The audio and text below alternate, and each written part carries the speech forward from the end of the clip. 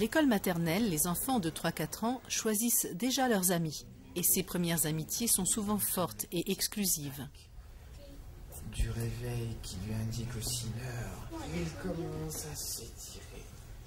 L'instituteur David Roland interprète le réveil de Solatus, un personnage imaginaire qui va rythmer la journée des enfants. Pas celui-là, pas celui-là non plus. Les enfants préfèrent les compagnons de même âge et de même sexe, car ce qui compte pour être amis, c'est de bien jouer ensemble. Et pour ça, il faut aimer faire les mêmes choses. Il se frotte avec une serviette bien épaisse. Invitée à travailler dans la classe, Stéphanie Barbu, chercheuse en éthologie, observe les relations entre amis. Il serviette autour de. À 4 ans, l'ami est surtout un compagnon de jeu. C'est-à-dire qu'on ne va pas encore euh, euh, observer les caractéristiques qu'on retrouve dans les amitiés adultes, euh, l'intimité, la, loyauté, des, choses comme ça. Mais l'enfant recherche un autre avant tout pour jouer, bien jouer et s'amuser. Et aussi, c'est un support affectif en l'absence des parents. Dans le groupe, il y a des enfants qui ne se quittent jamais. Eléa et Marion passent leur journée ensemble. Erwan et Maxime partagent toutes les activités. L'école, c'est très important pour l'enfant d'avoir un ami. Ça le sécurise et ça le permet aussi de rentrer plus facilement en contact avec les autres enfants. Au moment des ateliers, les enfants se retrouvent autour des tables en fonction de leurs goûts et de leurs affinités. C'est aussi comme ça que peuvent naître les amitiés. Erwan et Maxime jouent encore côte à côte.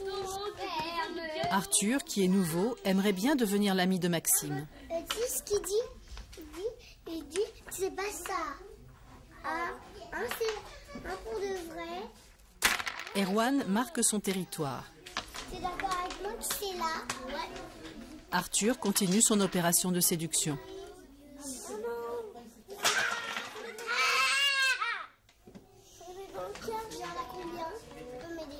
Il essaye de valoriser Maxime en lui demandant de l'aider.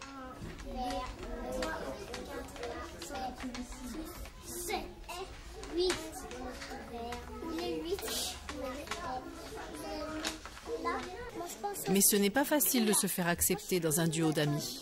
Lui, c'est comme ça Ouais, d'accord. C'est fini. Ah.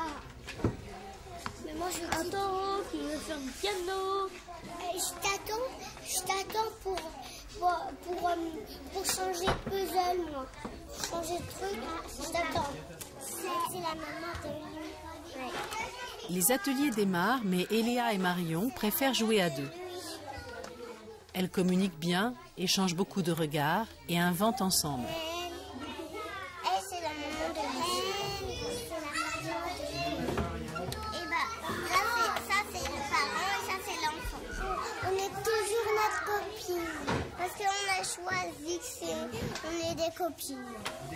Pour l'instituteur, les jeux d'imagination sont tout aussi instructifs que les activités encadrées. Elles sont amies, donc elles jouent bien ensemble. Là, il y a une, une vraie complicité. J'accepte tout à fait qu'elles soient un peu à l'écart parce que je considère que le jeu est évidemment euh, plein de richesses. La notion de partage, elle est, elle est très importante. Elles partagent à deux, elles ont du plaisir. Il y a toujours des enfants qui observent. Veulent se mêler, alors parfois elles ne supportent pas les, les intrusions, mais il y, a, il y, a, toujours un ou deux enfants qui, qui, qui gravitent autour.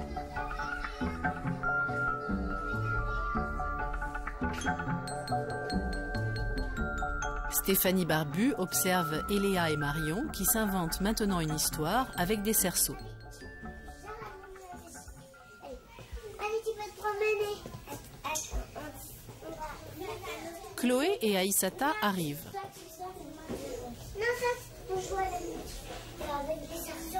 Les deux amis semblent vouloir les inclure.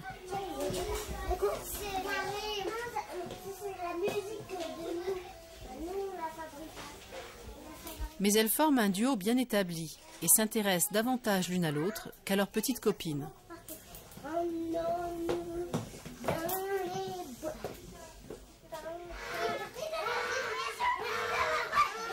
Aïssata renonce et regarde ailleurs. Chloé persévère. Elle les imite, essaye de se faire accepter. Mais ses efforts ne sont pas vraiment récompensés.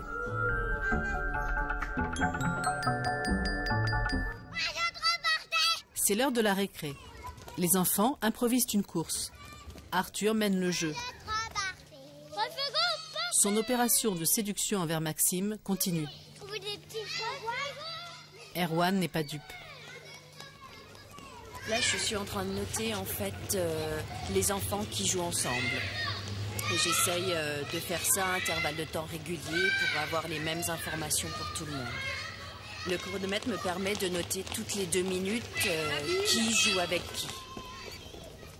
Quand on joue bien ensemble, on devient amis. Et lorsque l'on est amis, on joue encore mieux ensemble. Qu'est-ce que c'est pour vous une amitié positive? Avoir une bonne amitié, c'est à la fois avoir un bon compagnon de jeu euh, avec qui on est très souvent et avec qui on va pouvoir jouer avec d'autres, c'est-à-dire profiter d'un réseau de relations qui est assez vaste et diversifié. C'est maintenant l'heure du sport. C'est bien. Parfait. Tu vas te faire tu vas te faire mal si tu retournes à plat. Tu, tu regardes. Erwan, tu attends s'il te plaît dans le, dans le cerceau.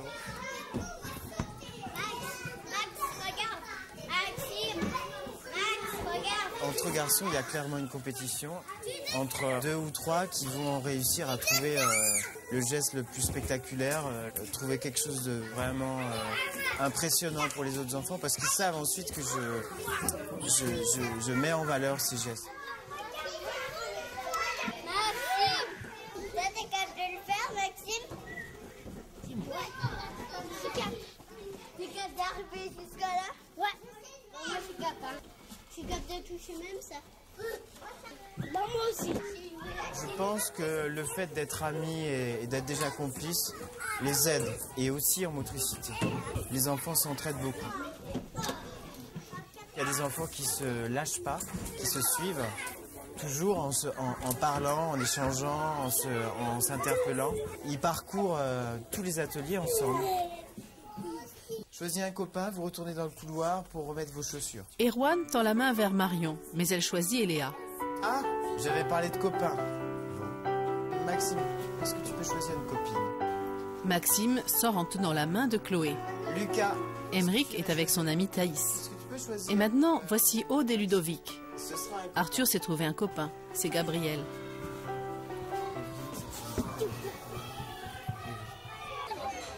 C'est l'heure de la cantine.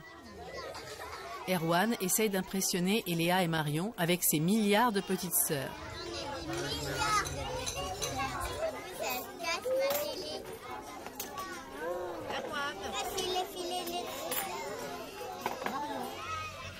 Après le repas, une bagarre éclate entre Erwan et Arthur. Qu'est-ce qui s'est passé? Qu'est-ce que c'est? Mal, il m'a tapé. Pourquoi? Pourquoi Erwan? J'ai rien fait. Remets ton manteau à l'endroit. Et alors, tu voulais la roue, et eh ben tu peux, tu peux, tu peux partager avec lui quand même. Mais il avait Tiens. deux roues. Il était le seul. Bon, alors ce que vous pouvez faire, c'est jouer ensemble. Vous avez suffisamment de roues. Et si vous ne pouvez pas jouer ensemble, c'est un peu désolant, et ben vous vous séparez. Les garçons repartent jouer. Les garçons sont un peu sans pitié, ils sont euh, ils ont des réactions euh, assez impulsives et contrairement aux filles qui prennent souvent à témoin les, adultes, les garçons euh, se disputent, se séparent et se retrouvent euh, en très peu de temps. Ça peut, ça peut être le cas plusieurs fois en, une récréation. On, sauve la vie, des fois on peut mourir. C'est juste ça qu'on s'habille.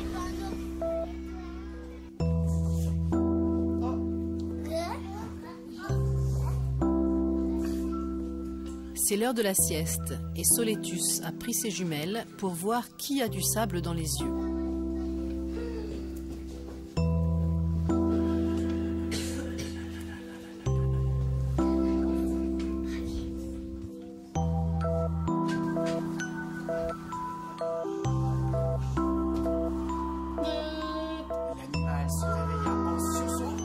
Ceux qui ne dorment pas écoutent l'histoire du petit chapeau rond rouge. Sauf Arthur et Aude qui occupent l'espace d'Inette sous le regard de Stéphanie Barbu. À l'école maternelle, les enfants de sexe opposé jouent encore souvent ensemble. Les deux euh, filles et garçons peuvent se retrouver autour de certains types de jeux et notamment tout ce qui est jeux domestiques dans la mesure où souvent il faut un papa et une maman. On va les voir se réunir au coin d'Inette et, jouer à la poupée par exemple. Ce ne sont pas les jeux les plus fréquents mais euh, ça, arrive quand même. Moi j'ai comme un grand bébé et, mon frère il, joue pas à Dinette mais il a un petit bébé.